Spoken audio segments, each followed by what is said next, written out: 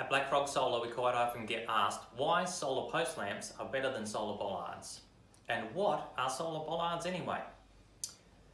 Hi, I'm Jeff from BlackFrog Solar. We light up where others can't. A solar bollard stores energy during daylight hours in order to illuminate during the night. Given their small height, they can only illuminate a limited area and are generally suitable for ambient or accent lighting in outdoor gardens or pathways. Here are six benefits to, of choosing solar post lamps over solar bollards. One, cost effectiveness.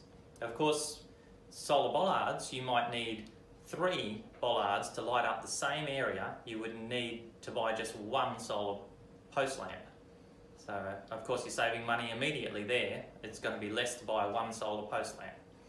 Uh, two, reduce downtime. The maintenance required, you've got to clean the top to make sure the solar panels are clean.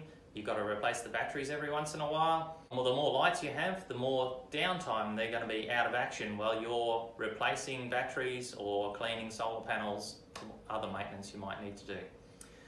Number three, easy pole mounting heights, selection and adjustment. A pole is quite easy to change the height. We can start off at four meters and if you decide that's not enough light, we can either increase the height or we can reduce the height to get the maximum light that you need for that particular area. A bollard is generally a set height, maybe 800 millimeters or one meter high. They can only illuminate a small area around the base of that bollard.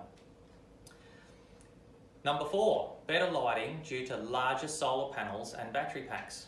Of course, the solar bollard only has a small size head, so that's reduced already the size of the solar panel, which can only then charge up a small battery. So of course then the amount of light output is also reduced. Whereas picking a solar post lamp, we can get really large heads, 300, 400 diameter round, uh, so we can charge up a larger battery pack and of course produce a lot more light. Number five, simple replacement and low maintenance. Well, it's quite easy. The more lights you have, the more maintenance is going to be required.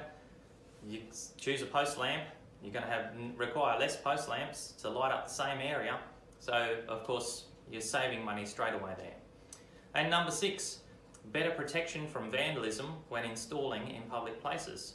As soon as you've got a light that's around four meters up in the air, of course, it's out of reach of most people. Uh, immediately, there's less chance of getting those lights vandalised.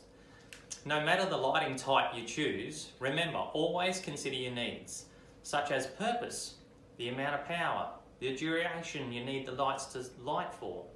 If you need further advice, one of our friendly specialists from BlackFrog Solar Lighting will be happy to help you.